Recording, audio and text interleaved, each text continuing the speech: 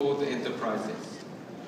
In the process, you will learn about Samsung's take on three key challenges, platform compatibility, data analysis, and security. And a couple of guests will help me delve more deeply into topics of enterprise data analysis and security.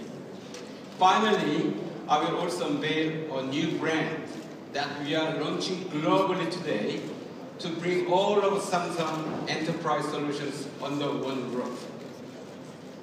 The IoT revolution is similar to the internet and mobile revolution in that it's going to create fundamental changes in all our lives.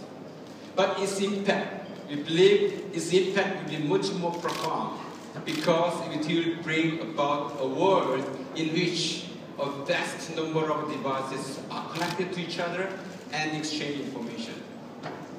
According to Cisco's connection counter, about 15 billion things are connected to the internet at the moment.